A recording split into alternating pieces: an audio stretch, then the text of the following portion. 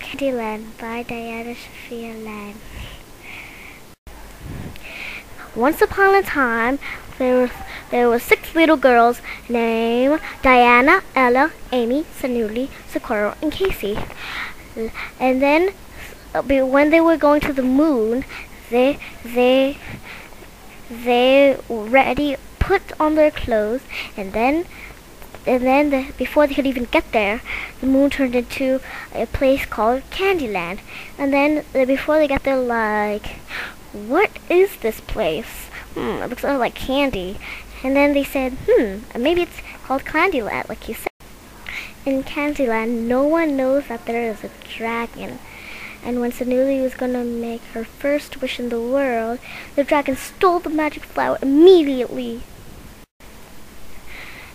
And then the, the flower gra- uh, granted the wish for the dragon.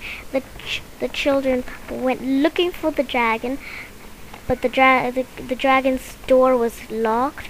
They looked they looked in the cave, but they were teeny tiny. So they went through the mouse hole.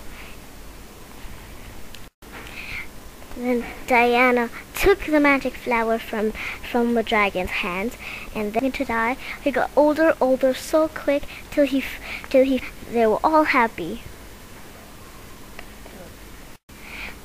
The then the children went back and lived happily ever after.